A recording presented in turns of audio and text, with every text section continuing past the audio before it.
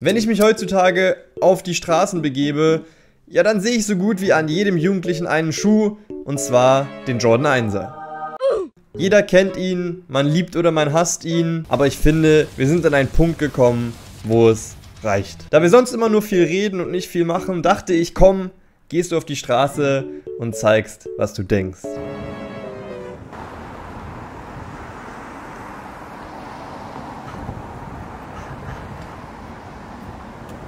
Ihr kennt mich. Ich war wieder zu viel im Internet unterwegs und dort habe ich eine Jordan-Alternative gefunden. Dieser, nennen wir es mal Fake Jordan, kommt von der Marke Fugazi und wie ihr vielleicht in einem meiner letzten Videos gesehen habt, habe ich versucht, mir einen dieser Schuhe zu kaufen. Edding.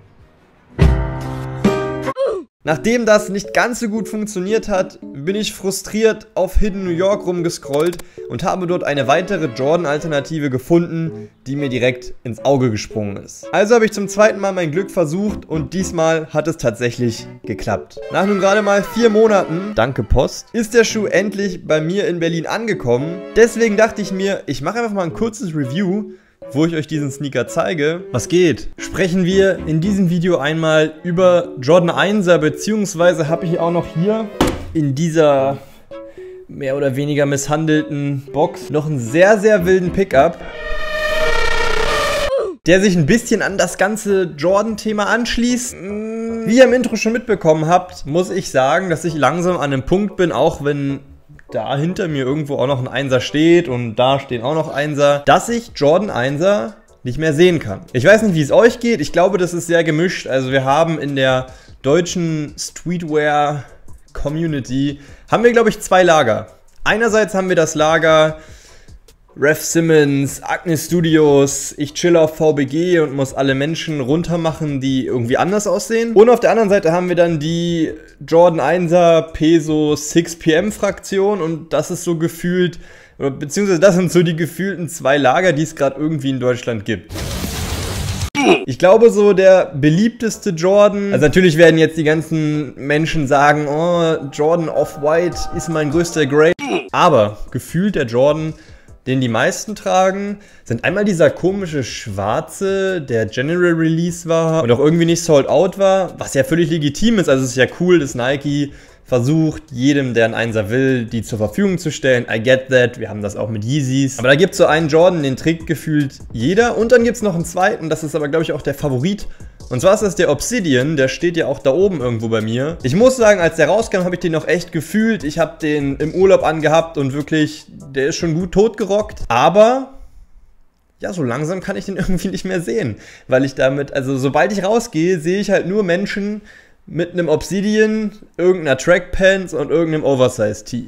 Hier auch der gute Kelly, Kylo, ich weiß immer noch nicht, wie man ihn ausspricht. Er hatte auf jeden Fall auch ein Video dazu gemacht, wo er das Ganze so ein bisschen analysiert. Wie gesagt, es ist ja, man darf es ja anziehen, wie man will, alles cool. Aber es ist sehr spannend, was sich hier gerade so für ein Stereotyp, sage ich mal, entwickelt. Long story short, ähm, ich habe mir sowas ähnliches wie einen Jordan 1er gekauft worum es ja auch heute gehen soll. Nebenher, dass ich mich ein bisschen über Jordan 1 mal aufregen wollte und mal euer Feedback wissen will. Könnt ihr den Schuh noch sehen? Ich muss sagen, ja, geht so. Auf jeden Fall habe ich einen Jordan 1er. Ich weiß immer noch nicht, ob es ein Custom oder ein Fake oder eine Mischung oder... Auf jeden Fall kam der Schuh nicht offiziell mit Nike raus. Aber ich habe mir ungefähr im Februar einen Schuh bestellt bei so einem Dude, der heißt auf Instagram I Never Heard of You, glaube ich. Und er hat im Prinzip auch, ähnlich wie der erste Fugazi-Drop, einen Chicago 1er gedroppt. Der war jetzt nicht mega schnell ausverkauft, es war jetzt schon noch möglich, nicht so wie beim Fugazi, aber ich glaube, noch ein paar Minuten war er dann auch weg. Ja, ich rede jetzt schon wieder viel zu viel Zeug. Ich würde sagen, ich zeige euch das gute Teil mal. Ähm, man sieht schon an der Box, die ist auch custom. Wie gesagt, hier steht I never heard of you. Das ist der ja, Mensch, der das rausgebracht hat. Das Ganze kommt aus den Staaten, deswegen sieht die Box ein bisschen misshandelt aus.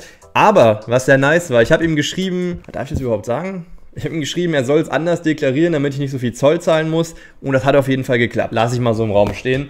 Äh, hier vorne steht äh, Fuck Off 1, Size 10, äh, Made in China 000 und äh, Suggested Retail ist. Suggest, su suggested.